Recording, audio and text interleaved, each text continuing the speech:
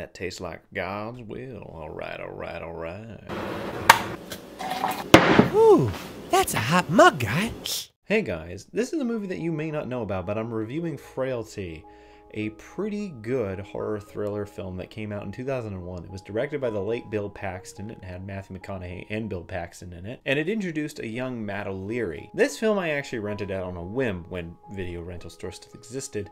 I rented it about nine years ago uh, for Halloween, and this movie has stuck with me ever since. This is actually the first time I've watched it since then, and admittedly, some things have changed. Admittedly, this movie does not have the same kind of as it does on a first viewing, which most thriller horror movies do, but it still has some pretty good qualities to it, some great performances, and some pretty decent writing. The movie starts with Matthew McConaughey coming into the FBI building, confessing to Powers Boothe, an FBI agent, about his father and his family's horrible past with killing people as the God's Hands killer. Now, this movie admittedly has some twists and turns in it that kept me guessing throughout the entire film, and admittedly, rewatching it again, I actually couldn't remember a few of them, so it was cool to see it happen again. But what really drives this movie is the morality compass that this film has. When your father gets a vision from an angel about demons that he's going to have to kill, who turn out to be real people, how would you feel if you were a young kid? Especially when your younger brother is more accepting of those ideals and of what his father is doing. We follow Matt O'Leary's character as he's trying to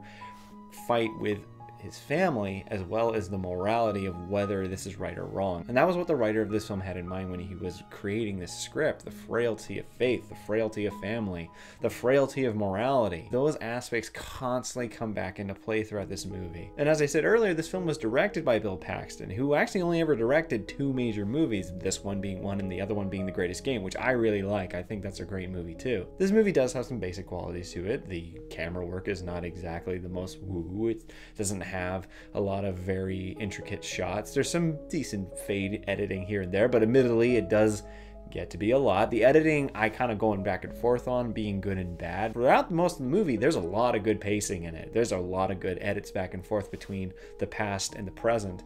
However, the end, I think it goes back and forth too many times. Instead of trying to give you all this information, boom, boom, boom, boom, boom, at once, all in one trifecta, they're kind of like, and admittedly, when I watched it the first time, that's exactly how it felt. It felt like that kind of climb, that mountain climb to the end climax. But this time, it kind of just feels like, okay, oh, okay, oh, oh, oh, okay. So yes, on second viewings, this movie is not as great as I thought it was when I watched it the first time, but it's still a very good movie, and admittedly, if you watch it for the first time having never seen it before, you will be very surprised. Stephen King and James Cameron both very much like this movie. This was actually Stephen King's favorite horror movie of the year, and what's funny enough too is you could see a story like this being written by Stephen King. Less kingy dark, but more kingy morality, I guess you would say. I should also mention this is actually the first movie that convinced me that Matthew McConaughey was a good actor. Up until then, I'd always seen him in his was in these surfer movies and whatnot, but this movie proved to me that he could act, and it was when he returned back to serious acting with roles like The Lincoln Lawyer and True Detective that I saw the reemergence of that actor and that class of acting. In the end, I really do enjoy Frailty. I would definitely suggest watching this for Halloween, and I'm going to give Frailty a 6 out of 7. This is one of my favorite horror thriller movies of the early 2000s, and it has stuck with me for the time. Admittedly, like I said, some things have not aged the best, but considering it as a first time viewing, it is an exceptionally good movie. Got good pacing, good build up, and a payoff that somehow works despite the fact that it shouldn't. Anyways, guys, hope you enjoyed this review. If you did, leave a like, and if you're interested in more, maybe subscribe. Anyways, have a happy Halloween. I'll see you guys next time. Thanks for watching the video. My name is Nitz, and you might remember me from the animated cult classic TV show Undergrads. It's been a while, but I'm happy to say the Clique is finally getting back together in an all new movie, thanks to a successful Kickstarter campaign. But we are still asking for your support. You know, Nitz, you can't get more money unless you offer questionable favors. Yeah, guy. Unless, of course, those favors involve the ladies, guy.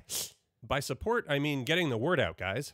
Oh, well, couldn't you find a better means than this guy? All he seems to talk about is supernatural, or hold a coffee mug real awkward. Why didn't you ask a Kardashian or something? Yeah, guy. Get in with the ladies, guy. Hey, he's trying to help out. Like you've been trying with Kimmy Burton? I've seen Jabba the Hutt finish a marathon faster. Yeah, guy. You're a massive slug thing, guy. To see any and all updates about the upcoming Undergrads movie, be sure to check out and like the Bring Back Undergrads Facebook page. And with any luck, we'll see you guys soon.